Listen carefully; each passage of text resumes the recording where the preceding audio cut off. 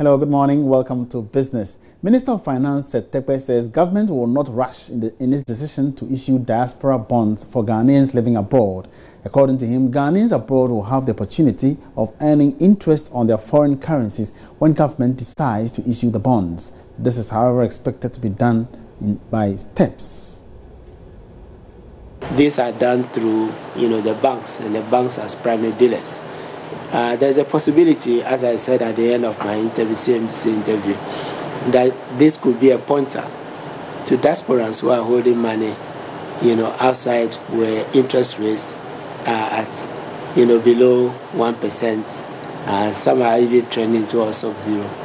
Uh, yes, to uh, for us to mobilize, I think there has been, you know, long-standing suggesting that we should be doing diaspora bonds, given the large number of Ghanaians who are outside.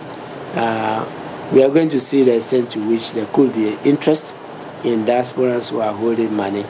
Uh, we are not going to rush into it, but see whether this could be a step one, you know, towards, you know, making them buy, you know, bonds, which uh, they are outside, you know, the country. Many of them are citizens in the technical sense that they are not residents there, but in a literal sense they are they are not residents. And if they can come in with their resources, you know, to increase the supply, then it means that Ghana may be, you know, the better, you know, for. Business confidence improved marginally in the third quarter of this year.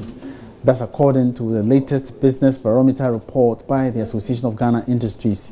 The AGI is attributing the slight increase in confidence to a stable economy. Executive Secretary of the association, Seth Twum Akwaboah, however, tells Joy Business issues such as the high cost of electricity and water still need to be addressed.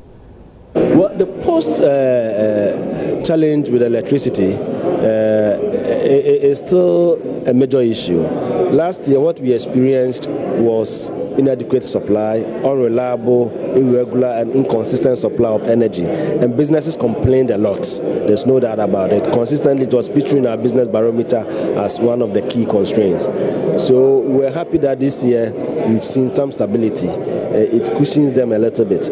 But then the stability has also brought in its wake another kind of challenge, which is the cost. And today, from the business barometer report, uh, electricity cost still remains the highest. It was so in the second quarter, it is so in the third quarter. What it means is that issue of electricity is critical to business development, critical to industrial development, critical to development of manufacturing. And there are different aspects to it. One aspect is the reliability, regularity of supply. The other aspect is the cost. We've managed to handle the, reliability, the, the, the, the regularity of supply, but then the cost we haven't. So it is still featuring as a major issue. We need to have the two happening at the same time to become very competitive. It's not enough to have regular supply, which you cannot use and become competitive.